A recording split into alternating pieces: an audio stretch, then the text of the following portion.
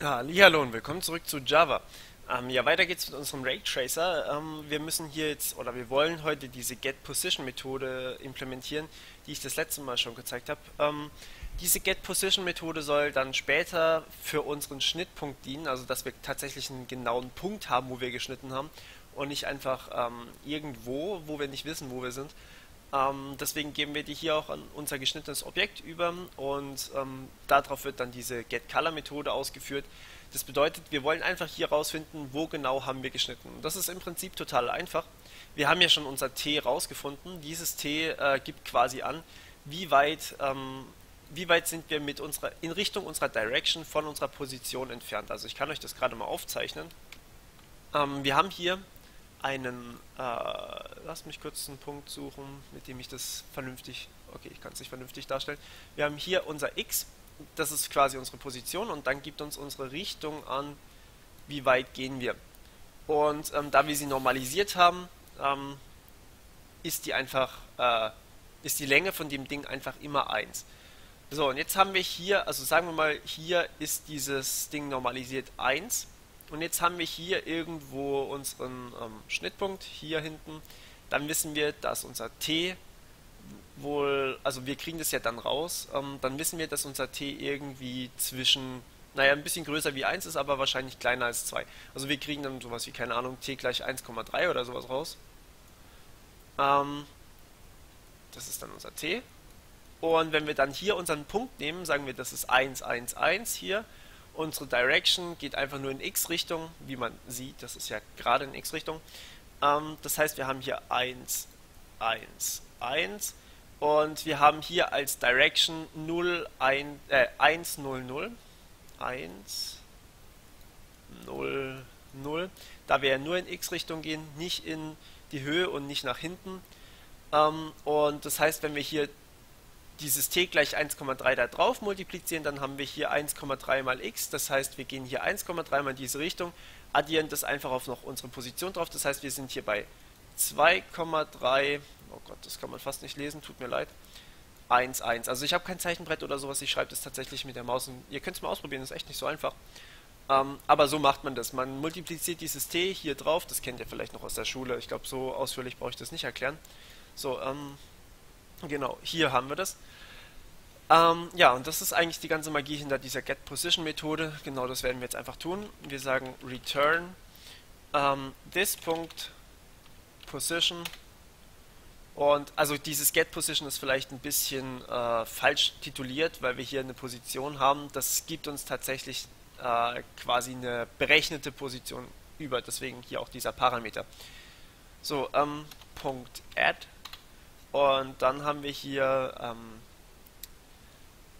Direction, this Direction Punkt und dann Skalarmultiplikation, die uns wiederum einen Vektor zurückgibt, t.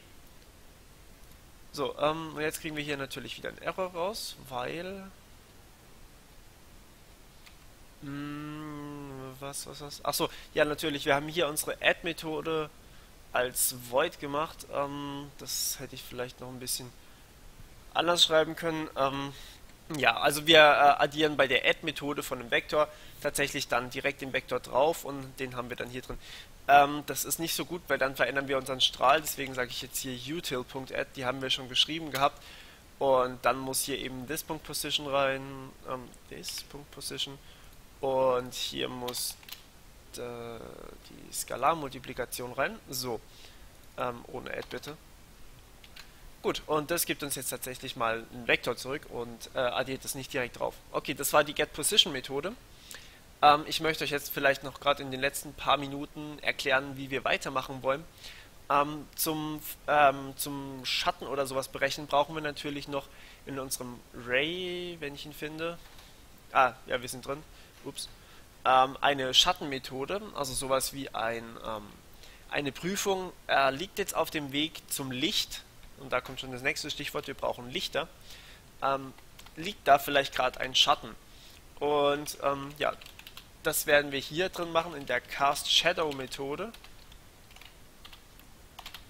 Ähm, ich sage hier einfach mal Return False. Wir werden das dann noch weiter sehen, was da so passiert. Ähm, dann brauchen wir natürlich, wie ich schon gerade gesagt habe, Lichter und ähm, ja, generell das Interface auch für Lichter.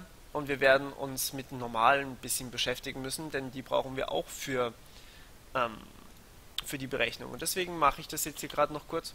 Wir werden hier einfach eine Funktion einfügen, die nennt sich public vector 3d ähm, get normal. Normalö, ja, okay. Ähm, genau. Vector 3D Position nimmt sie, denn die äh, normale ändert sich ja auch, wenn wir zum Beispiel an der Kugel entlang gehen.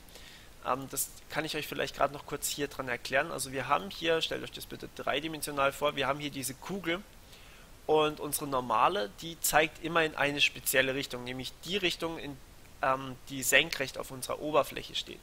Das heißt, wir sind hier, ähm, wenn wir uns das hier so vorstellen, das ist, äh, das ist die Richtung der Oberfläche, die sogenannte Tangente ähm, an genau dieser Stelle hier. Upsala, das da unten wollte ich nicht. So, und dann haben wir hier natürlich eine normale, die senkrecht auf dieser Tangenten steht. Ich versuche es mal möglichst exakt hinzukriegen.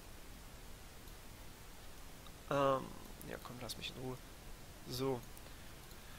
Perfekt. Ähm, also nicht ganz perfekt, aber ich glaube, ihr versteht, was ich meine. Ähm, und zwar, wenn man jetzt hier schaut, dann ist die, äh, das ist die normale, die hier auf dieser Kugeloberfläche steht, also hier. Ähm, wohingegen, wenn wir jetzt das Ganze hierher gucken, dann haben wir hier ungefähr so eine Tangente und ähm, die normale wird dann wahrscheinlich circa so aussehen. Das ist jetzt nur im zweidimensionalen. Im dreidimensionalen gibt es natürlich rund um die Kugel äh, ihre eigenen ähm, ja, ihre eigenen Tangenten beziehungsweise dann noch eigene normale. Also ihr seht, wie das Ganze auszusehen hat. So sehen Normalen bei einer Kugel aus. Ähm, ja, die brauchen wir dann, um diese ähm, Oberfläche zu berechnen und um, äh, um nicht die Oberfläche zu berechnen, um den Schatten zu berechnen. Und das machen wir in der Sphere. Und genau das möchte ich jetzt gerade noch kurz mit euch machen, weil das ist bei einer Kugel, glaube ich, echt nicht so schwer. Also ich glaube, da kann man schon drauf kommen. Ähm, wenn ich die Methode bei mir finde. Genau, hier unten. Okay, ähm, also wie wir hier gesehen haben, ähm, wir, wir haben hier immer senkrecht auf unserer Oberfläche äh, diese normale stehen. Hier können wir uns so eine Tangente vorstellen, damit es einfacher wird, sich das vorzustellen, weil im Prinzip ist sie ja überall, ähm, ist eine Kugel ja überall rund. Ähm, deswegen gibt es da nicht wirklich genau eine äh, normale theoretisch, aber wenn man unendlich kleine ähm, normalen quasi hat, also die sind quasi unendlich dünn, dann kann man sich auch unendlich viele normalen hier drauf vorstellen und die ergeben dann quasi einen perfekten Kreis. Ähm, ja, und das ist auch übrigens der Grund, warum Pi unendlich ist, beziehungsweise unendlich Stellen hat. Ähm, wir können uns jetzt diese normalen hier einfach mal vorstellen. Das sind ja auch im Prinzip ähm, Vektoren, beziehungsweise äh, nicht nur Vektoren, sondern auch Arrays, also Strahlen. Und Strahlen sind ja bekanntlich äh, beliebig lang. Das heißt, wir könnten den jetzt auch mal so lang machen. Und wir könnten den Strahl hier so lang machen. Und wir könnten vielleicht, hier ist auch noch eine normale, die sieht dann ungefähr so aus. Und ich glaube, ihr versteht schon, was ich meine. Das hier ist dann die normale für hier runter. Also das hier ist eine normale und das ist die normale für die gegenüberliegende Seite. Und hier haben wir eine normale für diese Seite und hier haben wir eine normale für diese Seite. Ich glaube, ihr versteht, was ich meine, nämlich dieser Punkt hier in der Mitte, der ist wichtig. Und ich habe es gerade schon gesagt, der Punkt ist in der Mitte, das heißt, das ist einfach unser Center. Das heißt, wir können hier einfach diese normale berechnen, indem wir sagen, okay, ähm, wir schnappen uns den Mittelpunkt, ähm, hier sind wir, ähm, wir nehmen uns den, äh, die Position wo wir äh, hinwollen, also wir kriegen ja hier diese Position übermittelt, wo wir genau geschnitten haben, sprich irgendwo auf der Oberfläche, das ist dann der Punkt hier zum Beispiel oder der. Und ähm, diese Position, ähm, die nehmen wir, subtrahieren davon was, nämlich unseren Mittelpunkt und schon haben wir quasi einen Vektor, der so nach außen geht. Und das Einzige, was wir jetzt noch brauchen, da unsere normale auch ein, äh, eine Richtung ist sozusagen, müssen wir das Ganze noch normalisieren und logischerweise zurückgeben. Und das war's schon. War jetzt nicht wirklich viel Magie dabei, aber wenn man es verstanden hat, dann äh, ist es echt cool. Und ja, ich glaube, ihr habt es verstanden. Hoffe ich zumindest. Und ansonsten machen wir hier nächstes Mal weiter, wo wir aufgehört haben. Und wir hören uns bis dann. Ciao, ciao.